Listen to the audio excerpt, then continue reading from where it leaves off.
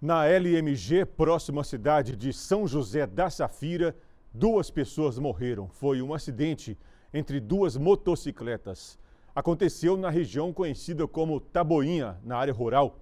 Uma das vítimas caiu às margens da rodovia e a outra foi arremessada na vegetação. Amanhã, no Balanço Geral com Nicomedes Felício, outros detalhes desse acidente fatal em São José da Safira, no Vale do Rio Doce.